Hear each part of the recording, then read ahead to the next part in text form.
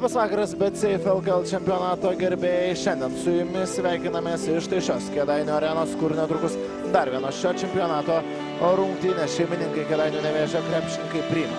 Svečius iš Ostamiškės pusė, Maldūno užtvara, Herstas. Dar vienas jo metimas iš toli ir Zaidas Herstas. Antrasis jo, už jį daugiau. Rungtyniauja vidutiniškai per mačą tik Kailas Vyveris. Tačiau jo šiandieną nėra. Masiulis iš trijų taškų zonos pataiko dabar Lorenzo Williams, Rodonte Parkeris, Mikrodvikova dabar pasinaudojęs užtvarą, Donte Parkeris perskrodžia visą Neptūno debiutas. Jam buvo rungtynėse su Prienų Skaikop, Balašovas dar kartą iš toli, Nikita Balašovas ir lieka nepakytęs 20-18, šiek tiek laiko savai atakai dar turės ir Klaipėdos Neptūnas, o čia Nikita Balašovas.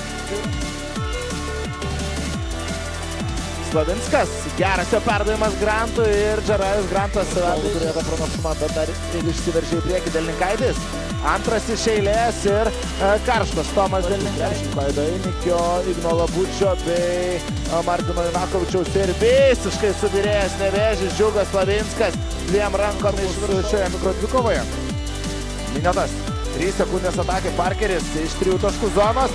Ir na jeigu tokie metimai sukris kėdai. Ir su trimis asmeninėmis pražangomis dabar Darius Dimavičius į aikštę.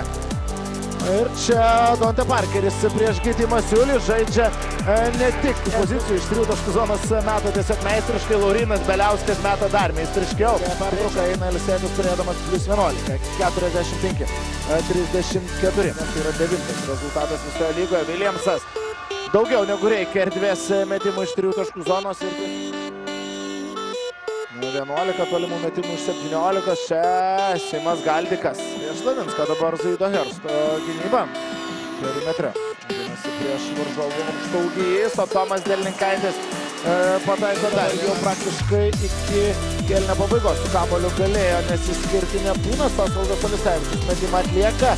5 sekundės nevėžys savo paskutinį ataką dar turi. Herstas, jo metimas su Sirena pasiekia tikslą. Varnas prieš Slavinską iš 3 taškų zonos meta Martynas. Ir tik dabar pirmieji Martyno Varno taškai. Groja pirmaisiais smulkais Neptūno komandos polime. Varnas iš 3 taškų zonos. Martynas Varnas. Tris kėlinius Varnas neskraidė per savo priekinės linijos krepšininkus ir tai nesuveikia. Išmušamas kamuolys Grantui iš rankų. Parkeris, du taškai, Adonte Parkeris. Įsirašo dar. Vėžis gynyboje pastaruoju metu dirba tiesiog fantastiškai. Parkeris. Aštriai iki galo, du taškai, Adonte Parkeris ir minutės per traukėlę. Galimybėmis nevėžis polime. Dambrauskas. Prieš jį kur kas aukštesnis, tačiau lėtesnis minėtas Dambrauskas. Rodo komandos draugams, kaip reikia ir nusivylę. Be abejo, Kėdainių nevėžio krepšininkų veidai jie vėl buvo kovingi, kovėsi iki paskutinių rungtinių minučių ir vėl, vėl reikia Kėdainių krepšininkams palikti aikštę nuleistomis galvomis. Daug tų pralaimėjimų pastaruoju metu nevėžis patiria štai taip rungtinių pabaigomis. Na šiandien Neptūnas pirmavo didžiąją rungtinių dalį ir solidžių pranašumų, tačiau nevėžiui intriga pavyko sugražinti, buvo 72-70, tačiau galutinis rungtynių rezultatas 78-70 ir Klaipėdos Neptūnas iškovoja svarbę pergalę jiems nevėžiui. Savųjų pergalių dar reikės palaukti.